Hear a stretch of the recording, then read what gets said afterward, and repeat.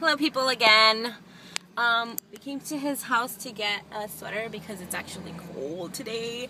So I'm wearing a sweater now. Where'd he go? Oh, I think you see him. He's um, he's like in the van.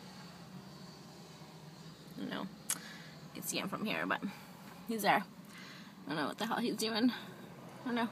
But we just ate at uh, Panera Bread.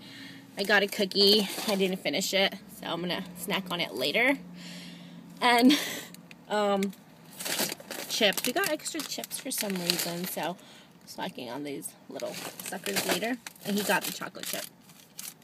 This is his. Anyway, so we just finished getting. Uh, we just finished eating there. Now we're gonna head out to downtown, go see the Willis Tower get on that cube. Pretty excited about it. Um, and just waiting for him. I don't know what the hell he's doing. He was there. No, he's not. I don't know.